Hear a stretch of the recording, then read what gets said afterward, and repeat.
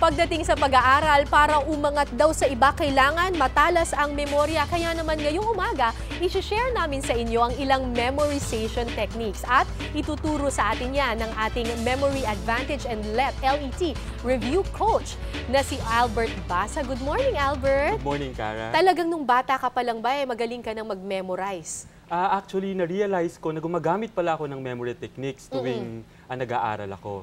Nung nag-research na lang ako, tsaka ko nalaman na meron palang tawag sa mga memory techniques na ito. Sabi ko nga sa GMA7, palagi yung sinasabi na dapat oras-oras alam mo. Correct. Kung oras-oras dapat alam mo, dapat sharp ang memory mo. Oo, kasi baka alam mo ngayon pero hindi mo na alam mamaya after Tama, two seconds. walang walang sense na may alam ka ngayon tapos makakalimutan mo na siya after ilang Mm. Right, minutes. right. So, ang ang alam ng marami, ako nung bata ko, pag memorize, ay basahin mo ng basahin ng basahin ng basahin hanggang tumatak siya sa utak mo. Tama ba yun na, you know, Actually, reading tama and yan. reading and reading? Ito yung pinaka-basic na memory technique. Ang tinatawag natin dyan ay repetition. Halimbawa, if you want to memorize a poem, i-recite mo siya ng several times, 10, 20, until mag-glue na yan sa memory mo. Oo. Kaya lang, there are several other techniques na hindi naman alam ng marami sa ating mga estudyante at ganun din sa ating mga professionals. Oo, kasi ako, ako Albert, kasi sa trabaho namin as journalist, nag, nag, nagsispills kami at kailangan namin mag-memorize minsan ng aming Mm-hmm. mga scripts. Ang problema ko, kapag binabasa ko siya ng word per word, pag may nakalimutan akong isang word doon sa chain, Mhm. nakalimutan ko na lahat. Right, kaya dyan So papasok. yun yung problema kapag minimemorize mo siya verbatim. Right, oo. Pero kung gagamitan natin siya ng mga special memory techniques na napakadaling aralin, for example, at lahat ng memory techniques ay naka-anchor lang sa isang memory principle. Alright. At ito yung word na association. Association. Right. Oo. What is association? It's simply making a connection between two things. For example, if I want to make an association between a pen. whiteboard marker and a pillow, all Okay. I have to do is make these two objects uh, dance together or fly together. Ibig sabihin, when we associate, dapat ridiculous yung image na nafo-form natin dahil gustong-gusto ng brain natin. Kapag ka yung associate na, association natin is not ordinary, not usual, and uh, parang out of this world. Mm-mm. So, kailangan mag-iisip ka ng isang word. Kunyari, may pinapamemorize sa yung word. Iisipan mo siya, i-associate mo siya sa isang Sa image. isang word. Sabi nga nila, uh, learning is uh, formed through association. And there would be no learning without memory. At ang maganda dito, ang sabi nga ni Harry Lorraine, sabi niya, there's no such thing as good or bad memory, only trained and untrained one. So ibig sabihin, memory training is really very important in studying and not only in school, but even in in kahit anong career ang piliin mo, mahalaga ang memory techniques. Oo. Lagi sa akin sinasabi ng tatay ko at yung tatay ko matalas ang memory noon. Sabi niya, sabi niya, Kara, hindi importante yung ma-memorize mo lahat ng binabasa mo. Ang dapat maintindihan mo siya. Right. Sa sa school natin ngayon, ang tawag dito ay higher order thinking Oo. skills. Oo. Ang sabi nga nila, hindi mahalaga ang memorization because memory is the lowest form of cognitive skill. Kaya Okay. lang ang sa akin, what is there to be analyzed, to be synthesized if you cannot recall basic information in the first place?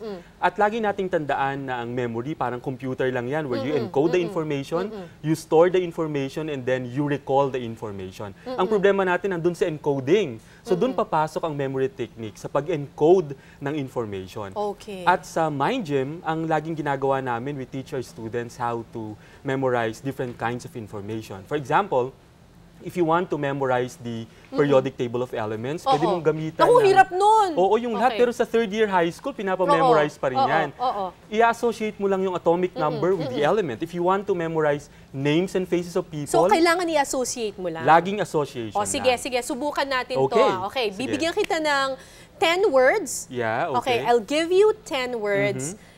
Siyempre, sa utak mo, i-associate mo na siya with an image. Right. I'll be using a particular memory technique. Oh, sige. Okay. Tapos, pagkatapos nun, um, I-recite ko sa iyo in any order that you wish. In any Okay. order. Yes, Kara. Oh, oo. sige. Ah, say the number first and then Kailangan the, the sabihin ko word. yung number. And wait for me to say next para Alright. uh, ma-organize Kasi kailangan ma-memorize okay. niya. Okay, so meron dito kaming nilistang mga salita. Na hindi ko nakita.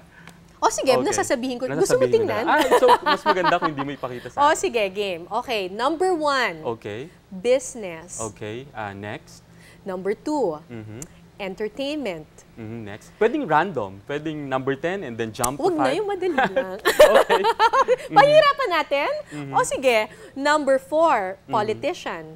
Okay, next. Number eight, earrings. Okay, next. Number three, Mm-hmm. sports. Mhm, next. Number five, camera. Mhm, uh, next. Number six, jacket. Okay, next. Seven, table. Next. Nine, cell phone. Next. Ten, film. Okay. Okay. Next. Complete? Yeah. Okay, I'll try. Okay, Sige. game. Uh, how do you like me to recite the list? Sasabihin ko ano yung number one, ano Okay, yung number sige. two. Okay. Okay. Ano ang number four? Number four, uh, a politician. Ah, galing! Number eight. Earrings. Number seven. Table. Number one. Uh, business. Number five. Mm. Okay, siguro kinakabahan lang ako. Pero five, um, camera. Tama. Okay. Number three. Um, sports. Number ten. Film. Sinabi ko na ba yung number nine? Ah, hindi pa. But number nine is cellphone. number six. number six, jacket. And number one. Number one, business. Pero nakalimutan mo yung number two. Number two, Alam niya talaga. number two is entertainment. Yeah. Entertainment. Ako, test mo ko. Okay, sige. Ah, test sabi, mo ako. sabi mo kanina, gumagamit ka din ng memory technique. Well, tinuruan ako ng tatay ko tsaka ng kuya ko. And so, uh, you're using the, the number rhyme uh, system. Pero, Yeah. okay, subukan natin. Okay, number one, headset. saan ba dapat? Okay, ah, okay, okay. Okay. Okay, sige. Yeah. Number one. headset. Okay, next. Just say next. Number three, Pwede blazer. one, two, three na Okay, lang. sige. Number two, bedroom. Number two, Bedroom. bedroom. Okay. Number three, blazer. Number three, blazer. Okay. Number four, apple. Four, apple. Five, basketball. Five, basketball. Mm, You can make it. Relax lang. Okay. Number six, picture frame. Six, Picture frame. Picture frame. Okay. Number seven, yellow. Seven, yellow. Okay. Number eight, love. Love. Okay. Number nine, newspaper. Nine, newspaper. And number 10, rubber shoes. Number 10, Rubber shoes. rubber shoes. Okay. Okay, let's start with the odd numbers first. Okay. Uh, okay, number one, Number, one is, ah, ano nga ba yun? just recall, just try to recall your image, yung visual. Number one, Anong nakikita mo?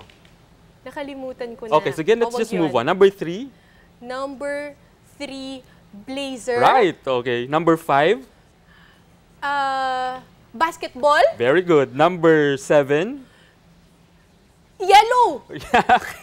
number nine, Newspaper. right, very good. And for the even numbers, number two, Number two, ano yan eh? Two? Shucks. Nakakalimutan okay lang. ko. Number four, Number two ba chick, ano, chicken? Hindi. ano? Hindi, hindi, ano, Mukhang may ibang number- visual na ibang pumasok. visual. Oh, Okay, number number four, ah, apple, very good. Number six, is picture frame, very good. Number eight, love. yes. And number ten, I- ano yun, yung ah, rubber shoes. okay. Now, so number two, let's go back to number two. Okay, oh, nine out of ten. Uh, congratulations. ano Oo. yung number one? Number one is headset. And number Headset. two, uh, bedroom. Okay, okay, Okay. okay. Marami, marami pa tayong matututunan. Right. I- you've used the, sabi mo kanina, it's the number rhyme system. And there are several other uh, techniques na po pwedeng matutunan ng mga bata uh, using memory techniques. And I think mem uh, studying becomes a breeze and learning is more fun if you have these uh, tools like uh, memory techniques. And that's what we do at Mind Gym Philippines. Mind Gym Philippines. Okay. Tuturuan kang mag-memorize at matuto talaga. Okay. If uh, they want to visit us, they can visit mindgymphilippines.com. Okay, maraming maraming salamat Thank you, Albert Cara, for the Basa. opportunity. At good luck sa lahat po ng mga estudyante mag-memorize at matuto. Right. Okay. Thank you. Thanks very much. Thank you. At susunod,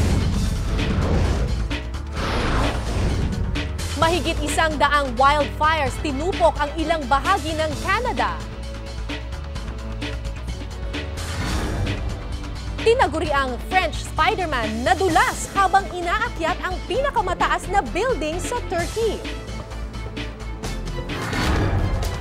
At sa panahong usong-uso ang mga digital gadget, may puwang pa ba ang mga lumang kamera at makinilya? Abangan yan sa pagbabalik ng News to Go.